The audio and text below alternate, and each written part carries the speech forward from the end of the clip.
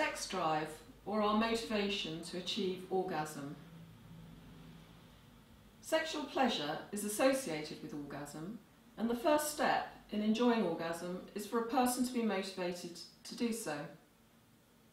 If we look at how women invest their money and their efforts, they probably spend as much on cosmetics, high heels and revealing clothing as men spend on sex and pornography.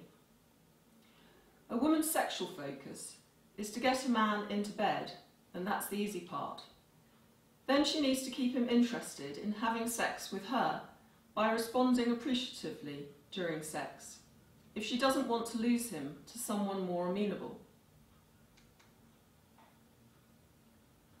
The fact is, we're all very different, but we assume that we're all sexual equals. Alfred Kinsey emphasised the huge range in sex drive that defines normal for both sexes. For example, some women orgasm many times a day, and some men orgasm once every few weeks. But on average, Kinsey found that men are up to six times more sexual, as measured by the incidence of orgasm, than women are. Male sex drive declines with age, but even by the age of 60, male orgasm frequencies have not fallen to the female level.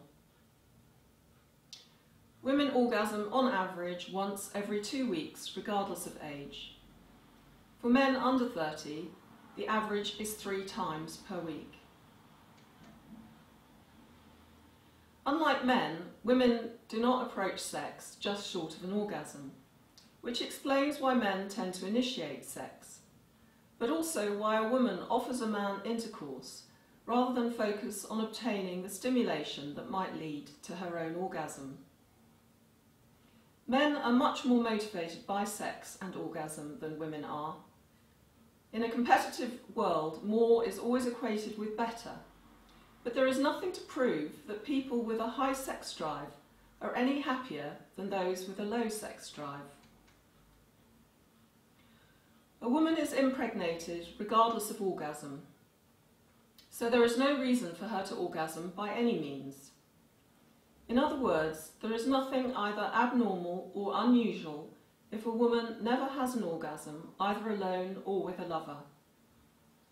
Increasingly, women today have the confidence to challenge the media portrayal of women's sexuality. The Australian writer, Kathy Lette, suggests she prefers a man who can talk or even cook over one who is obsessed with orgasm.